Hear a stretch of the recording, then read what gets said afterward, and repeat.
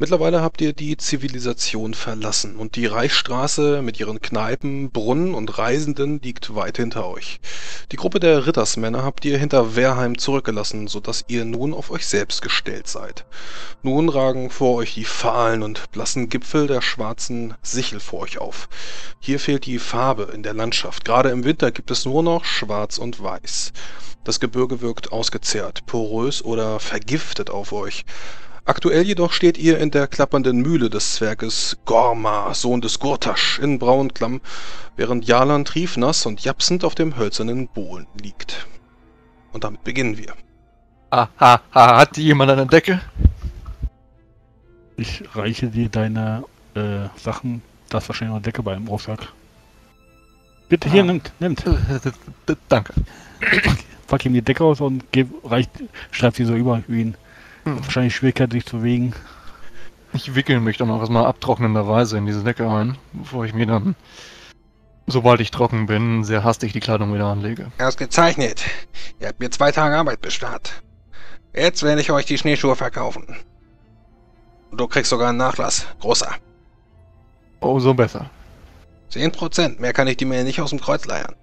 Gut. Äh, Moment, hier habe ich sie. Hier, die sind für dich. Für dich. Ihr braucht alle welche, ja? Hier, Nagel.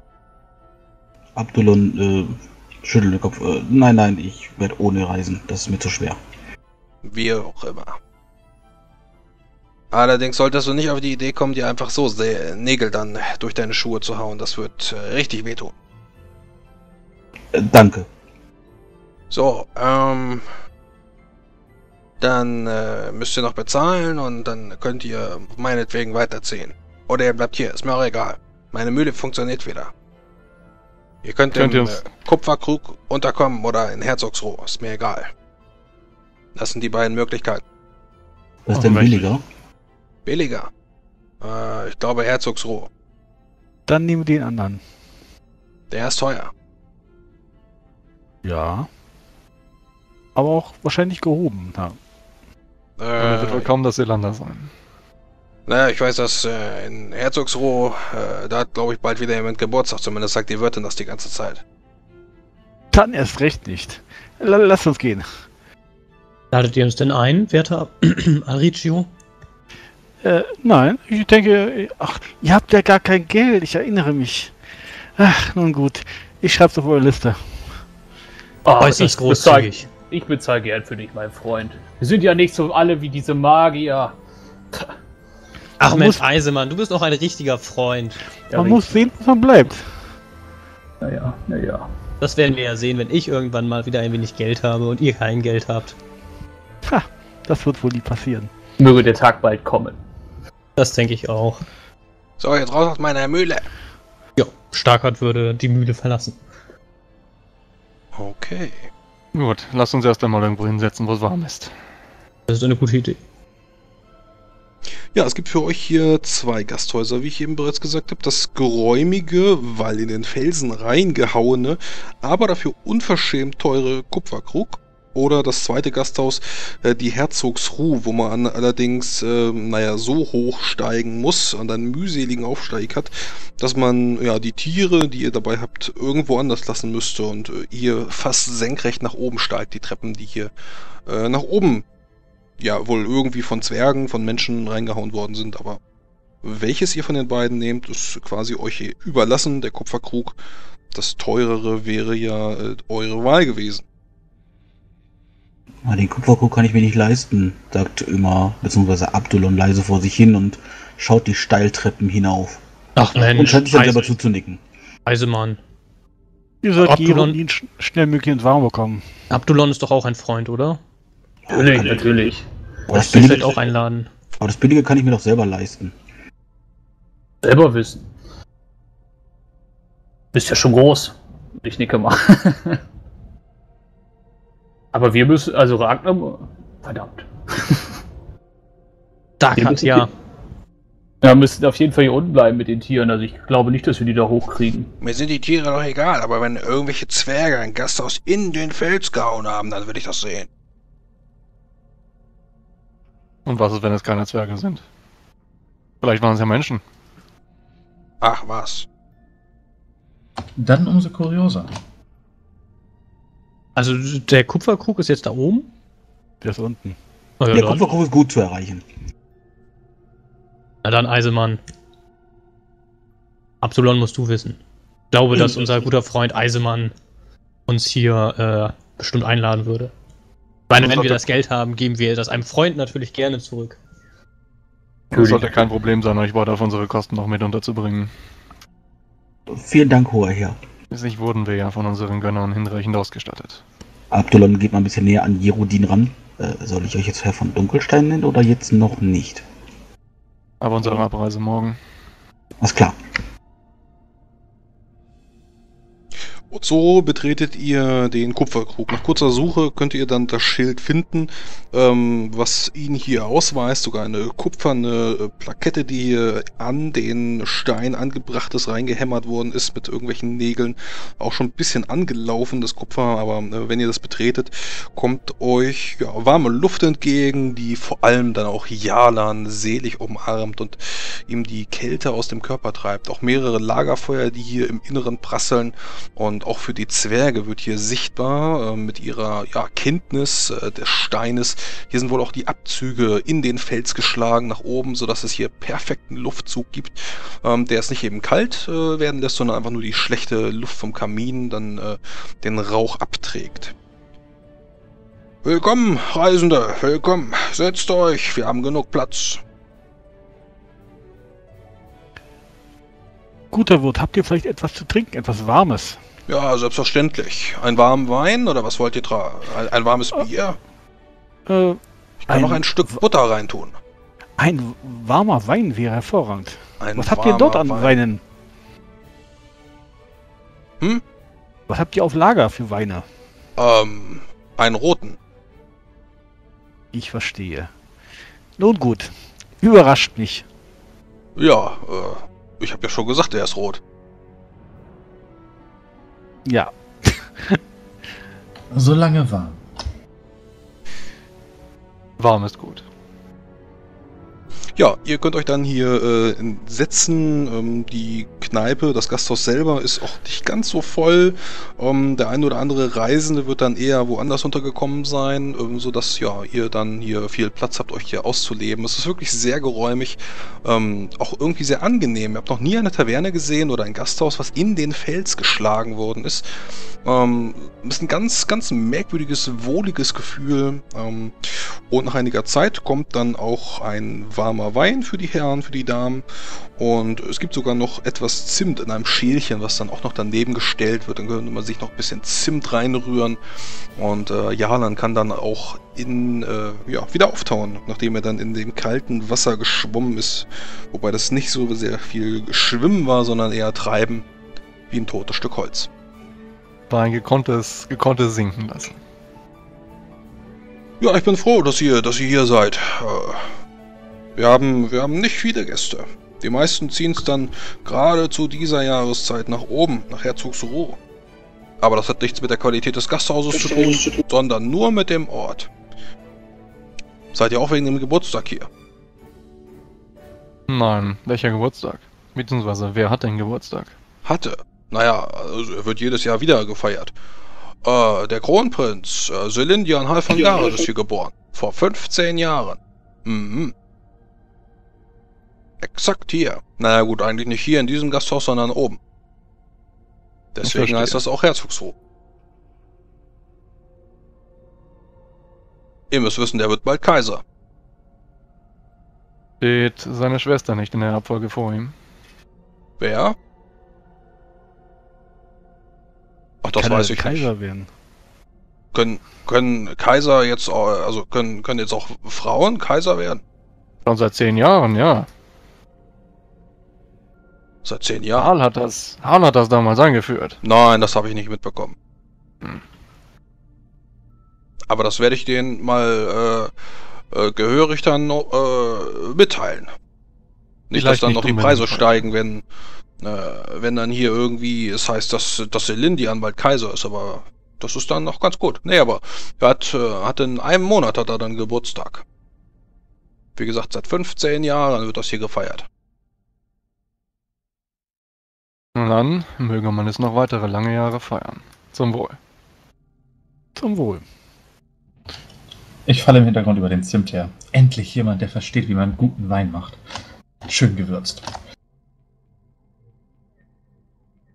Wie schmeckt der Wein? Furchtbar, oder? Äh, ja, er schmeckt furchtbar. Äh, die Weintrauben sind wohl nicht wirklich gereift. Ob das hier, na gut, Weiden, ob es da richtig warm wird, wirkliche Fels, Felshänge, ja, es, es sind halt keine richtigen Hügel, äh, wo dann die Sonne drauf scheint. Ähm, ja, ist, ist Wein. Es ist zumindest warm. Er ist warm, genau, und, und der, der Zimt schmeckt. Genauso schön wie zu Hause. Ja, beim ersten Schluck verzieht wahrscheinlich noch den, den, den, den Mund und das Gesicht. Aber nach dem zweiten Schluck wird es dann wahrscheinlich. Die Ja, ich kommt von Wein innen. total überwürzt. Gut, wenn ihr wollt, könnt ihr hier wieder regenerieren. Äh, Das Ganze ist, wie gesagt, ein bisschen teurer. Ähm, ja, wenn ihr dann, ich, ich sage einfach mal, der, der Abend mit Übernachtung kostet euch drei Silber pro Person. Also wirklich verdammt teuer. Und dann könntet ihr am nächsten Tag mit einer Regeneration plus eins aufbrechen, wenn ihr denn wolltet. Natürlich wollen wir. Nach äh, etwa einer Meile hinter Braunenklamm weitet sich das Tal des Braunwassers erneut zu einem Kessel von vielleicht 300 Schritt im Durchmesser, an dessen Nordrand sich die Karrenstraße in engen Serpentinen aufwärts windet. Vor euch stützt der Fluss in den Kessel. Blickt man weiter nach Osten, kann man erkennen, dass der Fluss sich zusehends zu einem Wildbach verengt, erneut in einer Klamm verschwindet, durch die jedoch nur ein schmaler, recht alter Balkensteg führt. Hier geht es also weiter nach Saltel. Weitere ja, Zivilisation, äh, die weiter schwindet und mehr und mehr Natur, die euch dann hier einholt und nicht sehr einladend wirkt. Äh, bevor wir losgehen, würde ich mir gerne noch das Essen kaufen. Also Ration für den Weg. Das soll hier noch kein Problem sein. Ein guter Plan. Schön Sag mal. Eisenmann, möchtest du vielleicht auch ein paar Pechfackeln oder sowas kaufen? Gar, keine schlechte, gar kein schlechter Plan. Ich bring mal fünf mit. Oh, das sollte eigentlich nicht nötig sein.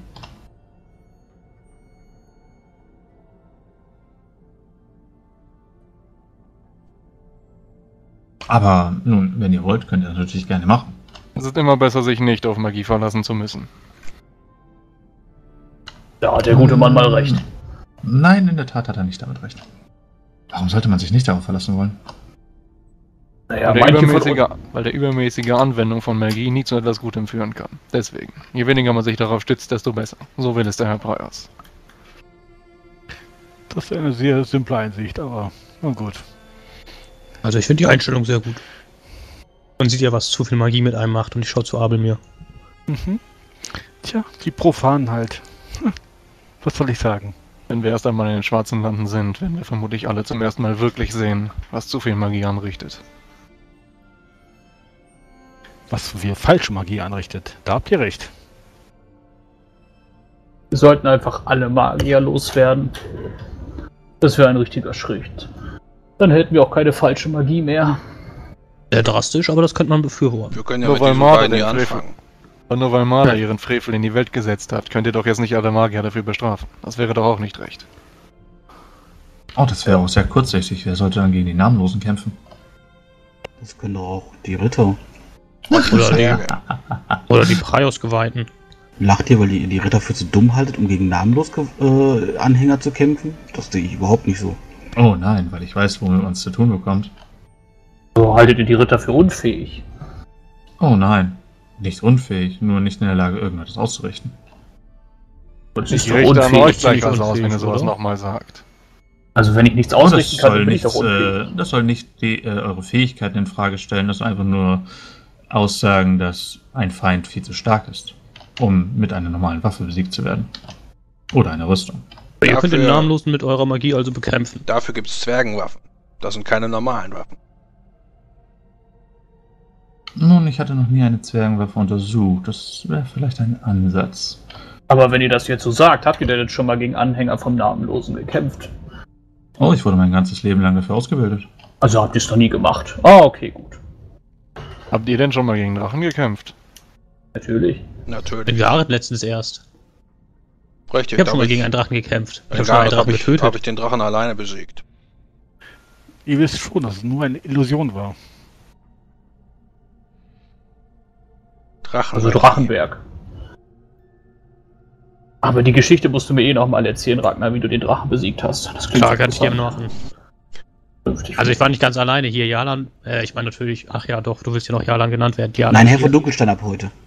Ach so, Herr von Dunkelstein ähm, ist äh, auf jeden Fall ähm, mit dabei gewesen. Also ab, ab heute gelten die Tarnnamen, oder wie? Richtig, richtig. Äh, Ich habe noch Denke keinen schon. Tarnnamen. Wie soll ich mich denn nennen? Ich kenne mich damit nicht aus. Am besten irgendwie jemanden, den du in deiner Kindheit mal kanntest. Dann kannst du dich gut Stahlmann. erinnern. Stahl. Ich meine, wir haben Eisemann, dann haben wir auch Stahlmann. Dann bin ich jetzt Stahlmann. Das klingt vernünftig. Ja. Ja, und während Ragnar mit der Geschichte der Drachen und der Trolle anfängt, ein weiteres Mal, ihr habt sie schon viel zu oft gehört und sie ist auch viel zu viel ausgeschmückt, zumindest Jalan bekommt das mit. Viel zu oft fällt der Name Ragnar. Erreicht ihr, ja, Braunwasser. Das letzte Mal rechte Hand könnt ihr dann äh, sehen, wie der Fluss abbiegt und ihr folgt der gewundenen Karrenstraße nach oben. Nach einem mühevollen Aufstieg gelangt ihr schließlich an einen oberen Hang eines äh, ja, bewaldeten Quertales. Warmer Wind weht euch hier entgegen und es riecht etwas nach Schnee, nach Unterholz. Die Beklemmung weicht etwas von euch, wenn ihr den freien Himmel jetzt wieder sehen könnt und äh, ja, das Tal neben euch sehen könnt.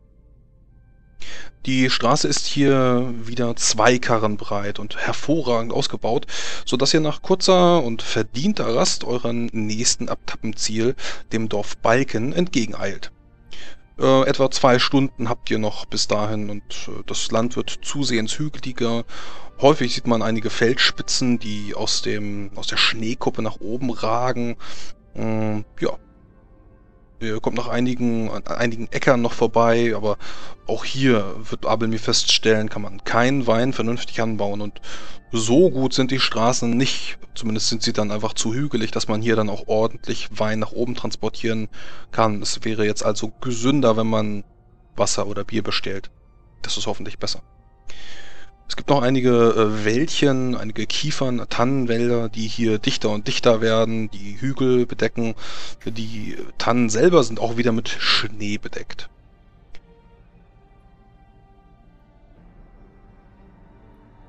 Gebt mir doch mal bitte eine Sinnschärfeprobe. In die Box. Dafür ist sie da Sollen die Leute, die keine Schneebrille tragen, irgendwelche Erschwernisse eintragen? Ähm, bisher noch nicht, nein. Dafür, dass man am Darpat meinen könnte, die Schneeschmelze hätte eingesetzt, ist es hier oben aber noch reichlich verschneit. Ein erstaunliches Land. Ich habe wahrlich noch nie so viel Schnee gesehen. Naja, so viel ist es jetzt auch wieder nicht. Ich meine, man hört ja ganz andere Geschichten aus dem Norden. Bisher ist es sehr schön hier. Etwas unwirtlich. Ja, genau, kalt, auf jeden Fall. Aber äh, schön. Und Glaub ich, will- es überhaupt nicht. Ich würde hier, glaube ich, nicht wohnen wollen. Keine Zivilisation. Gibt es nicht viel. Man kann höchstens jagen gehen. Im Sommer, eventuell. Auch im es hat Winter eine fängt sich gewisse- das ein oder andere. Es hat eine gewisse Schönheit, aber ab und an noch eine gewisse Trostlosigkeit, muss ich leider zugeben. Ja, von Dunkelstein da vorne, seht ihr die Tanne? Ja. Da, Welche da? Da vorne, da, immer, immer nickt man die Richtung nur. Da hinter dem Hügel ist gerade jemand verschwunden. Da habe ich auch Der, der hat auf gesehen. jeden Fall kurz zu uns geschaut. Ich weiß nicht, ob es er oder sie war. äh, War nur schemenhaft für mich zu erkennen. Mhm. Da war jemand. Ich glaub, Könnte ein Einsiedler sein, der hier wohnt, aber kann natürlich auch mehr sein. Und wenn ihr euch jetzt ein ganz wenig nach links umdreht, ohne zu auffällig zu gucken, sieht man dort drei Reiter. Ungefähr 200 Schritt entfernt. Dann war das ein Speer. Frage ist für wen? Naja, hier gibt es bestimmt ortsansässige Adelige oder sowas, die wahrscheinlich ihre, ihr Land bewachen. Vielleicht auch, naja, vielleicht auch Wegzoll nehmen. Weiß einer, ob wir jetzt schon in den schwarzen Landen sind? Wir Oder sollten, sind- wir sollten noch nicht die, sagen wir mal, Front überschritten haben. Vielleicht Banditen. Auf jeden Fall sind sie beritten. Das heißt, wir werden ihnen nicht entkommen können, wenn sie es drauf anlegen. Haltet die Waffen auf jeden Fall bereit. Oh, immer. Und während ihr so euch weiter umschauend der Straße weiter folgt, könnt ihr erkennen, wie ja dort eine Schranke aufgebohrt wurde, zumindest sehr provisorisch, ein Baum, der gefällt wurde ähm, und dann ja über eine Konstruktion mit äh, ja sowas wie einem Wiege- oder Wagenmechanismus äh, dort angenagelt, dass man ihn eben auch wieder hochklappen kann. Also eine Schranke. Und dort stehen dann ja fünf Leute mit sowas wie einem Wappenrock. Äh, Herr Dunkelstein, erkennt ihr die Wappen, währenddessen wir auf dem Weg darauf zu marschieren? Gehören die hin? Kneife mal das eine Auge zusammen und möchte über Heraldik prüfen, ob ich die, die Wappen kenne. Das probiere ich doch auch mal. Oh, ein ungeschätzter Baumverschlag. Das ist fast schon zu klischee. Wie in den Geschichten. Hm. Ich auf die Entfernung schwer ausmachen. Laut trägt hier oben fast jeder.